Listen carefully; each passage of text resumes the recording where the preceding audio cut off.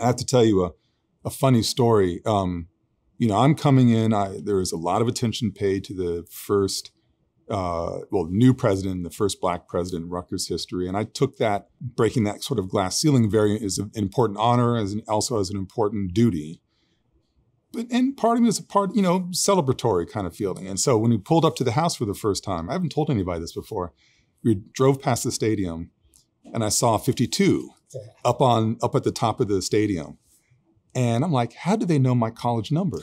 I mean, I mean, I was a linebacker uh, like you, and I'm like, you know, I really didn't, I didn't play in college. I just was kind of riding the bench, and that's a little over the top of my number up there. And then I discovered that it had nothing to do with me at all.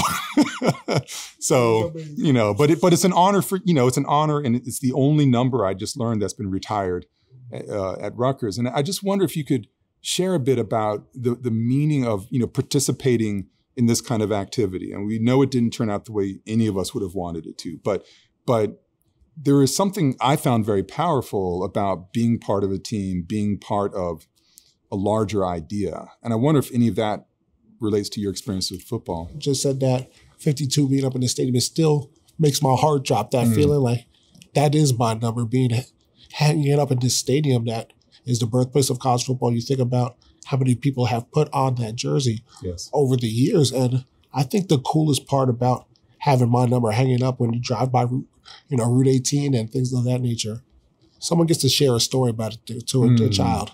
If it's somebody's grandparent, someone's mom or dad that's been there, like, why is that 52 hanging up? Just like right. you said, why is that 52 right. hanging up? Well, that's actually a player, Eric LeGrand. I'm, I live 25 minutes away, grew up in a pretty diverse town, a lot of kids.